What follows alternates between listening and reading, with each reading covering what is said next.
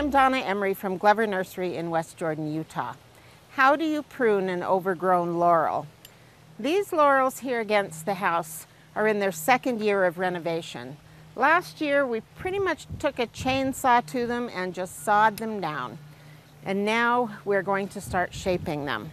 I brought in here with me loppers, pruning shears, and a pruning saw. And I've also gone ahead and made some guideposts or measurement marks for myself. I want these to be below the window.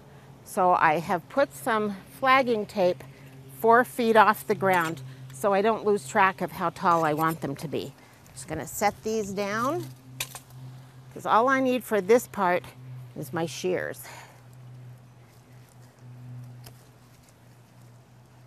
Go. I'm following each of these down to where there is a junction or a leaf node. I don't want this to look squared off or artificial. I want to keep it natural looking. So I'm making one cut at a time.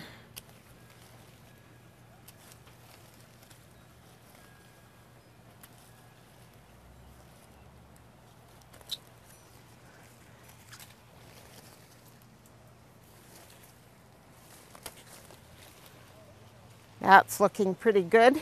We also had an unusually harsh winter, so I'm going to pick off or clip off all of the winter damaged leaves.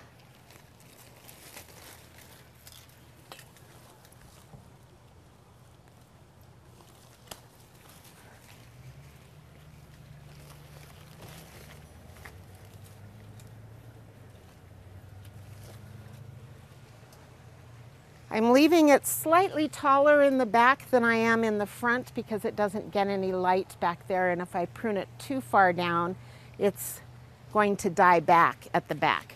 So I'll just keep going in both directions until I have gotten this to an even and smooth hedge.